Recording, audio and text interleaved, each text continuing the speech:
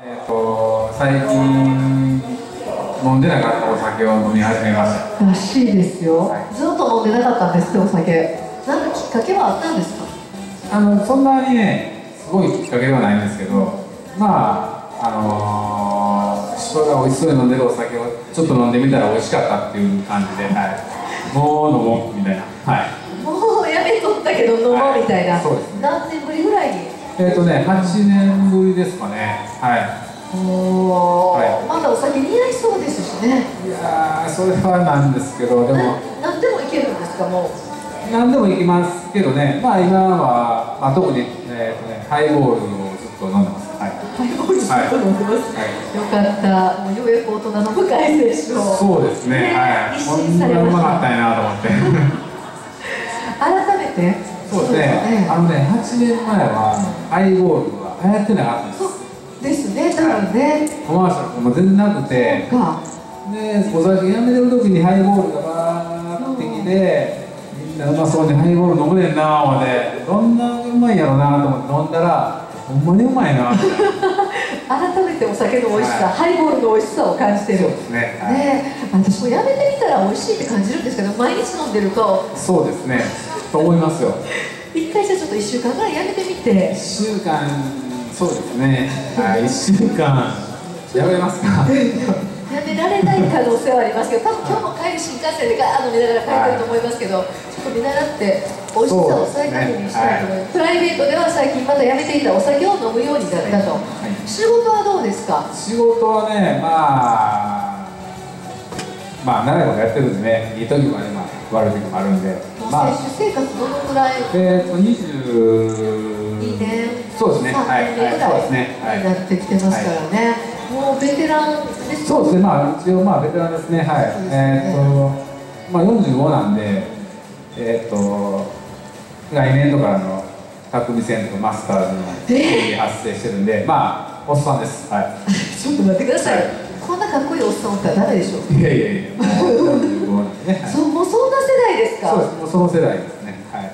スターズ世代。マスターズ世代です。はなんかちょっと意外な感じがしますけれども。い。いやー、まあ、行きたいですね、マスターズは。でもあそうですか。好きですね。あそうそうそれはそれでお楽しみにねして応援したいと思いますけれども、若手の活躍も結構グループ内での若手の活躍も目立ってることないですか最近？そうですね、まあ、若手というかね、まあ、僕の、まあ、グループというか、まあ、浜崎がね、この間、住の絵でね、ボールを優勝したんで、そう1月まあまあ、僕らにとっては、まあまあ、ええ励みですね、ようやってくれたなみたいな。でこの間また優勝してたでしょ。そうですね、まあ、調子がいいみたいですね。はい。ねえ。あやっぱりそういうグループの活躍とかっていうのは？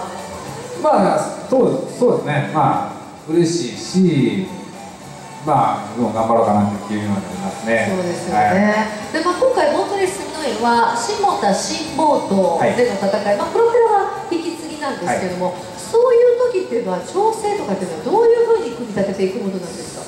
そうです結構ねあの皆さんレース場で、えーみんなバタバタしてますね。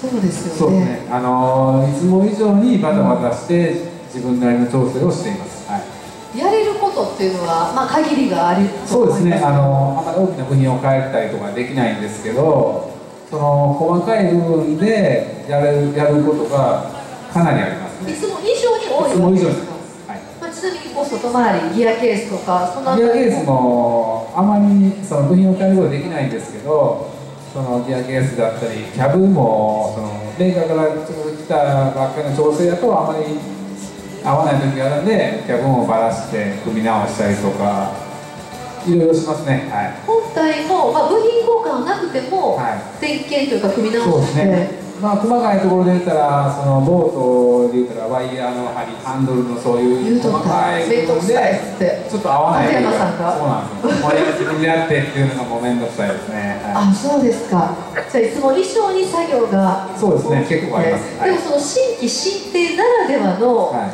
なんかその船足の感触とかボートレースの上ではい。つも乗りづらいけど実は新規新定そうですね。あの新艇は結構まあ乗りやすい方で、まあボートがあのいつもより軽いんで。その乗りやすいし、まあ、スタートの行き足がちょっと良かったりとかいつもよりの感覚はいい時もありますね。そうはか。じゃあボートも軽いからやっぱりちょっと前に出ていくようなスタート。いそうですね。はい。いつもよりまあちょっと早いかなという感じもする時もあります。はい。で住之江では乗りやすさもそうですね、あの新艇は乗りやすい時ありますね、まあ、軽いから乗りにくいかなと思うと、思いますよね。あの新艇の方が乗りやすいですね、バランスがいいんですかね、はい、あそうなんですか、は最初何節ぐらいはなんかそういう感じなんでしょうかね、えっとね、それはね、わかんないですね。はいあそうですか、じゃあ結構今回も初日のコメント見ると選手がね、あの住之江にしては乗り心地がいいとかっていう話が出て今日はる新艇の影響はあると思います、はい、今のところ、はい。ちょっとそれもじゃあ皆さん覚えておいてください。まあでも新艇でも乗りづらい場合もあるわそうですね、けですよねあの全然あのプロペラとかマッチングしないときは当然乗りにくいと思いますけども、はい、好きですか？新モーター新ボートの時って。いやーあ好きじゃないですね。もう行って今節から新ってあの新エンジンですって言われたらもうえっと思いますね。えーみたいな感じで 仕事オーナーやのええですか？前言が忙しいなみたいな。あある程度使ってた方がいいんですかそうですね。まああの創立とかもあってまあまあその整備履歴とか全部見れるんでまあこんな感じなんやなっていうのは想像とあるんで、はい、じゃあある程度素性がもう明らかになった10ヶ月とかもだいぶ使ってる方がいい？